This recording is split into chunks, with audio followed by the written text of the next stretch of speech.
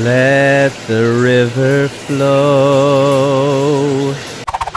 You're watching Hearly Films. Good morning, YouTube. This is Adam with Hearly Films, and I've got a special, special treat for you today.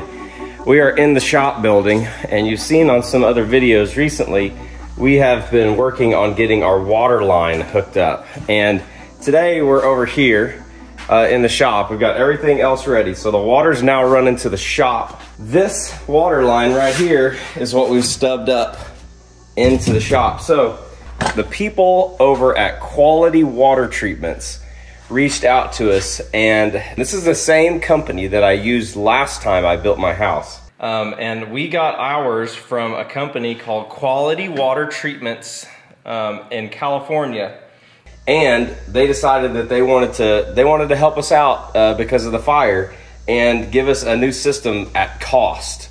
And i told them i would make a video because not only is that something that's i mean i'm so happy that they did that but i would have i re- actually reached out to them to buy a new one because it was the best system that i thought was out there. I'm going to unbox everything and I'm to set it up. I want to show you how easy it is to set up because it is an awesome system. It works well, it's easy to use.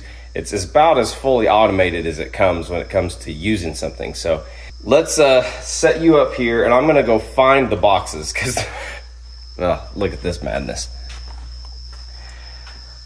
Here we got a fridge, I think a dishwasher, uh, a washer and a dryer, I think there's the ovens right there. And I think these two boxes, I think those two boxes are actually the uh, water softener and the filter. So that's neat.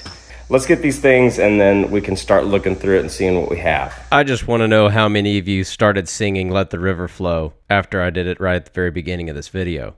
Did I get you? So I'm doing this just as you guys would do it the system that I have will, will work with my entire house. And what I got from Quality Water Treatments, what I've ordered from them, are there's essentially two pieces to this.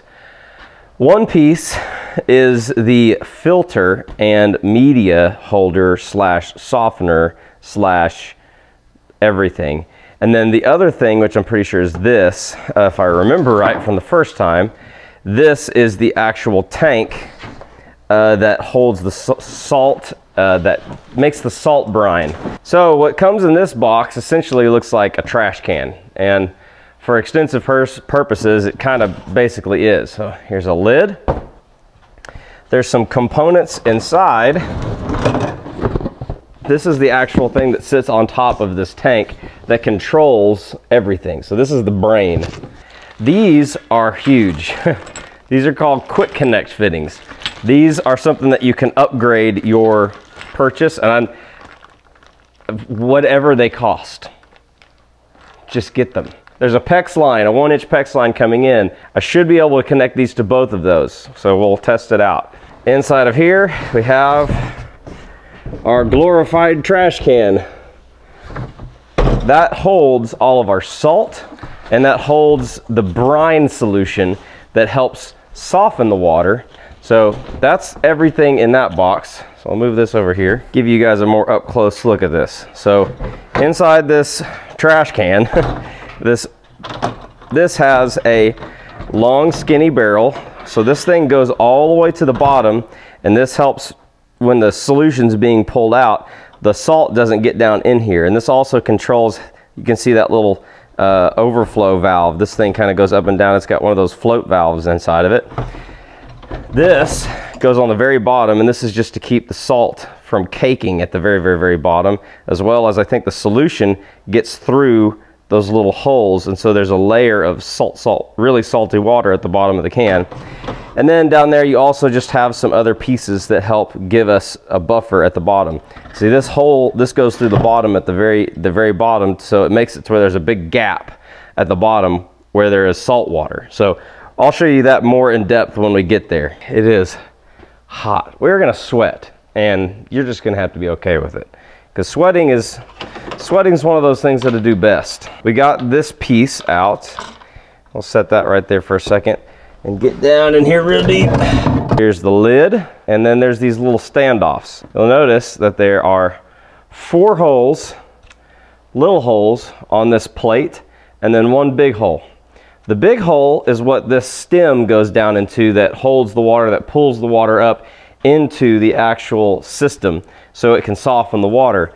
And then these four holes are what hold our standoffs. And so it's not rocket science. These little standoff feet go on to this plate, just like this, and they click in right there. This is one of the reasons I got this system because it was easy. This has a hole right here. So this is important. This has a hole right here on the side of these, this container where that holds all the salt. This valve has a hose. You want to put those on the same side. So what we're gonna do is we're gonna make sure that our system is orientated in a way like this. So notice that this plate has one hole on one side. So we are going to put this this way. That way when we put our cylinder down inside of this, we'll be able to have this hose easily go out the side and not have to like twisty do all over the place and do anything crazy. As you push it down, these little tabs will lift up just like this and make a snug fit. There you go. So you can see what we're working with now. This is going to make a barrier at the bottom for the salt water to settle at the bottom.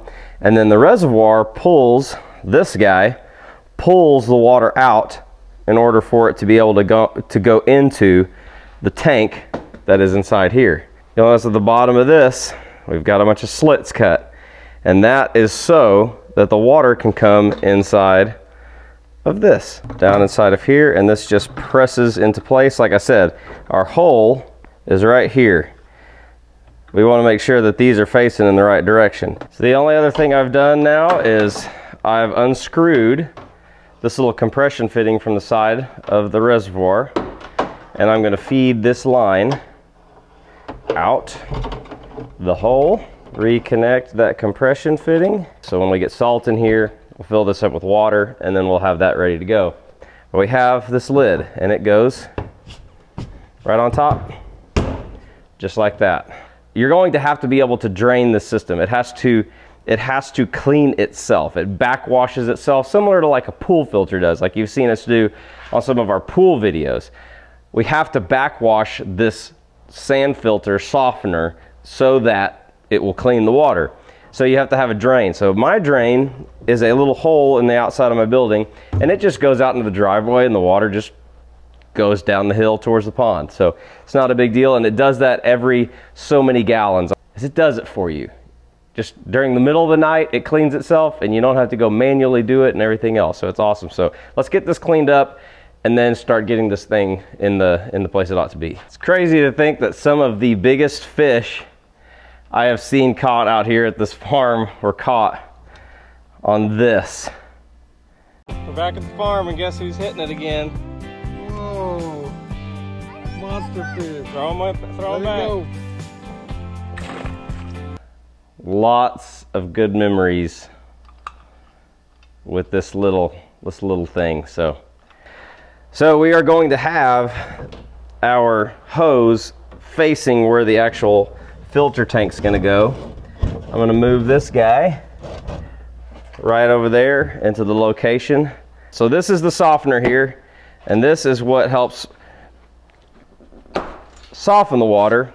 Not only that, it helps filter the water, makes it better for us. It has a pre-filled tank that already has the uh, liner on it. It's just easy. It's not a complicated, like I said before, my favorite thing about this company is that it just, it's, it's done. How we're gonna do this is we're gonna pull this part off, just like that.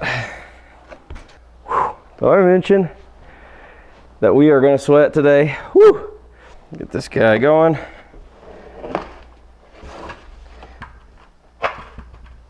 There she is. Okay, I pulled you guys off the tripod because I really want you to see this. So this is the cap.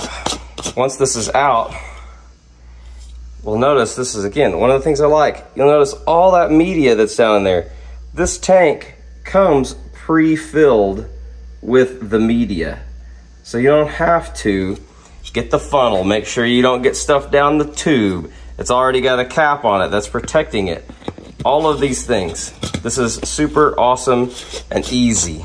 I just got a heat advisory on my phone for my area. It's like, yeah, you're a little late to the notification. this sleeve is designed to help keep this thing protected. So we are going to put that back down. It's got an instruction holder pocket right here for the brain that we'll get out in a second. Still got our quick connects that we'll get to. let's get this brain unboxed. So we've got our directions, our instructions. We also have some little fittings. This right here, this is where all the magic happens. This thing controls all of it. This makes it to where your life is easy. You don't have to deal with when did it backwash, when did it not backwash, what do I got to do next? I got to set a schedule and a thing on my monthly alarm.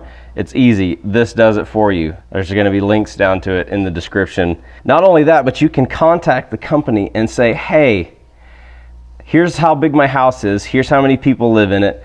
What do I need? You can send a, you can get a water sample done through pretty much any uh, extension office for a university and they'll do exact they'll build the system for you and make sure it's going to work we have our brain there's a little filter screen here so this just goes onto the top of this this is super simple you just twist it till you feel it fall in and we twist it one more and you'll feel it click and we're going to take this off there you go the brain goes over the tube and then goes down in the hole get those threads started. There we go. Very good. Don't want to over tighten that. Spin that back around. Very nice, very good. What we're gonna do for right now though is we're gonna flip this thing around because we're gonna, gonna have to get into the business end of all of this. So we've got a bunch of things back here that we need to talk about. So this is the black hose right here that comes from the salt container and you've got these two parts that are attached to the back of the filter. We have to put these on and they come with a little tag and they're attached right here on the back of the filter. It's going to go into the end. Then we're going to thread this thing on right here. So these are all hand tight. So I'm not getting any tools out. I'm not getting pliers. I'm not getting anything crazy like that. This is where the salt water will come into the filter to soften the water. We got another tag over here. You'll notice every single one of these tags says stuff. So like this is a secondary flow control located between the drain elbow and the hose.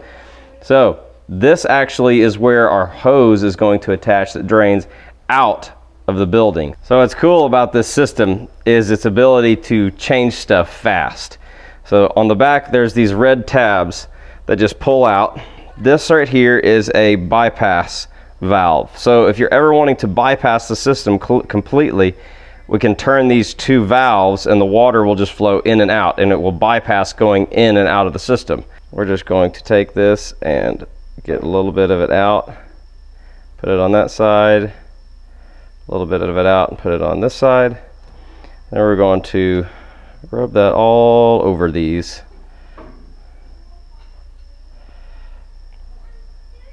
Well, that will help greatly with the installation, like so.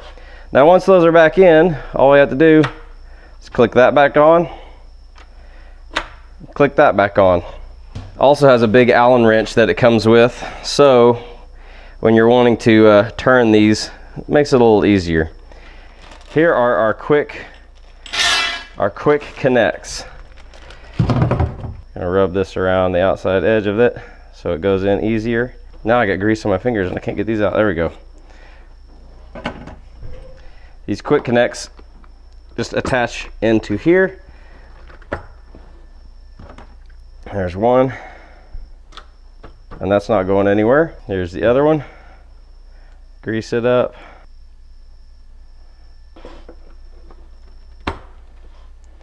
Slide it in. Put the key back on it. And there we go. So this is our outflow valve here. So this is what goes to the house. And I got this cut to length and this is super easy. You just take the connecting connection and we just push it down onto, push it back down onto this fitting. So that's super easy. Then this side, they bend and flex whichever direction they need to go. And this one goes back into connected, boom, bam. Now we just need to connect to our PVC line over here.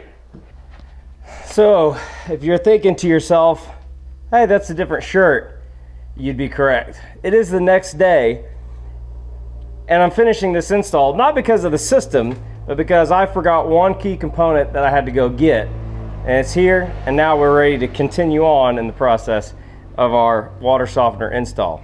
The one thing we were lacking was right here. This thing right, this thing right here. This is easy. SharkBite, one inch PVC, one inch PVC to one inch PEX. That connection right there runs to the actual tank. So now all we have left to do is connect this hose, this quick connect fitting that came with the softener system to this PEX. And they will have all of the water lines run together and we can start getting ready to go. We'll just need to get this filled up with some salt, turn this on and get some settings put in and we'll be ready to go.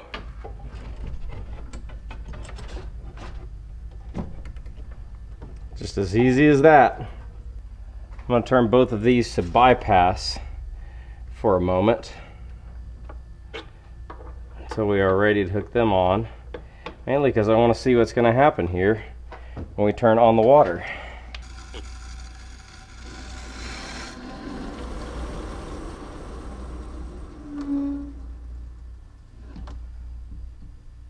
Everything's good there. So let's go to a water spigot on the outside of the house and let's see if I open that up if water or air or something comes out. I don't know. So the first place I'm going to go is just right here to this faucet on the front of the house.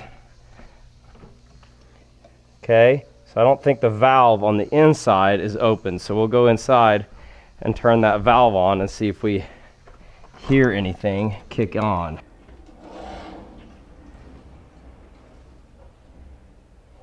and I just heard water.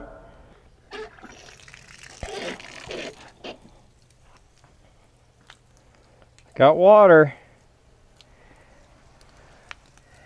This is all just stuff that's left of the line though, so we're gonna let this see if it'll purge itself here. There it comes.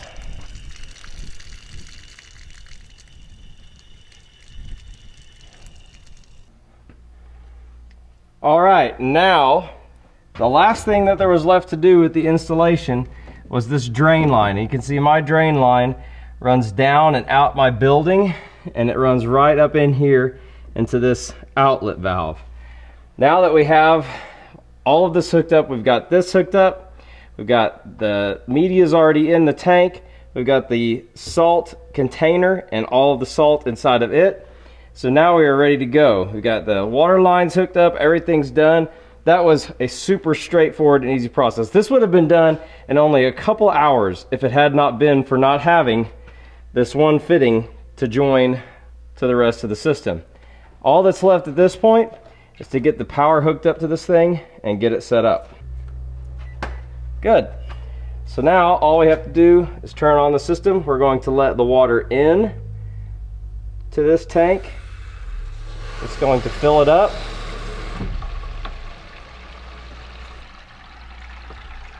So right now all we're doing is filling the tank. And the first thing that we're going to do is we're going to do what's called a manual regeneration.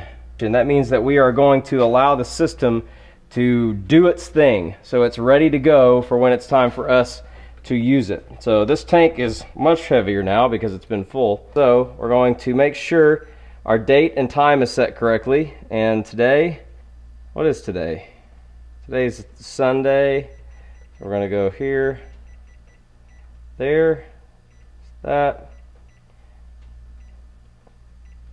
And the time is 229, 2.30 p.m. We're going to set all of that. Our hardness, hardness level is already set. And now we're gonna do a manual regeneration now. So we're gonna do that and now the system is regenerating itself. You can hear it going now.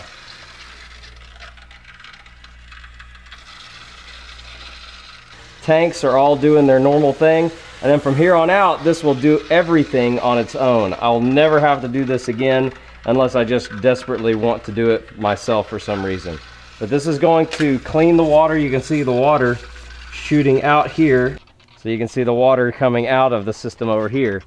And like I said, this is just run outside of my shop building so that it runs down the hill over here and goes off to do its normal thing. So now my system is cleaning itself by itself.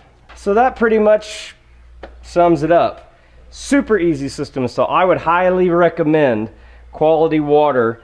Like I said, I had them before they ever gave me uh, this one at cost.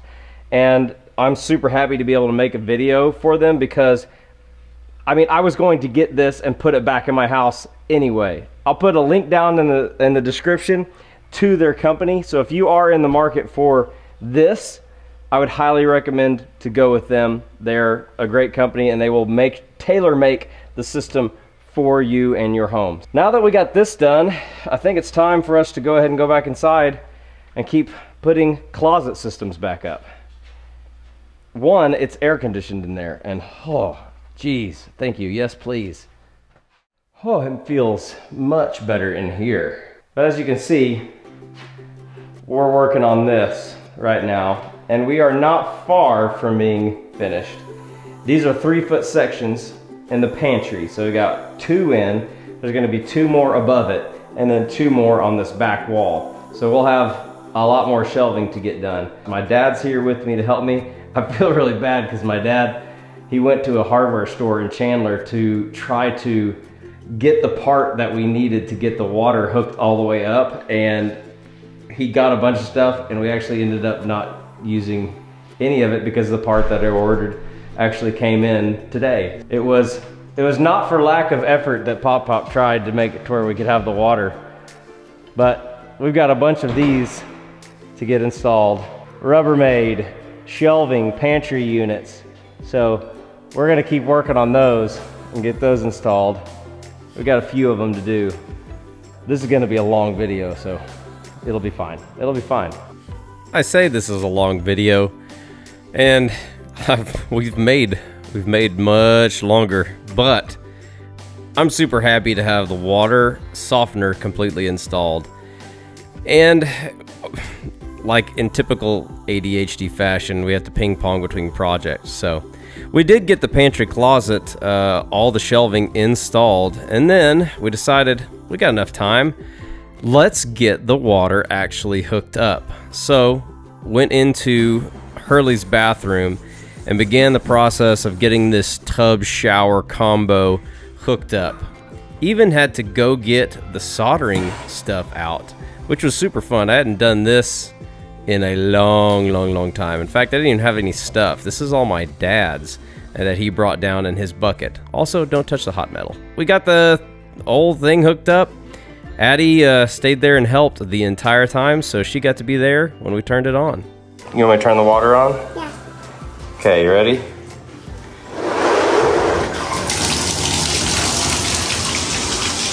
What do you think of that? Want me to do the shower? Yeah.